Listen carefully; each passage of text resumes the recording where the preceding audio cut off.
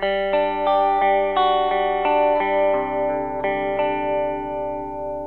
you.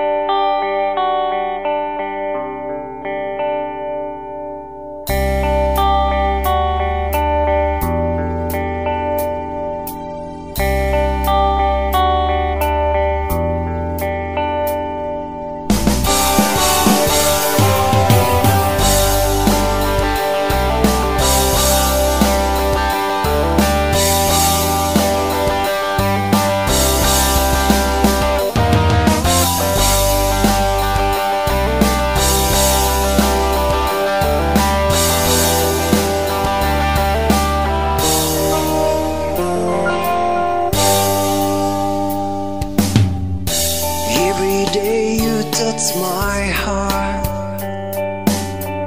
you let me know.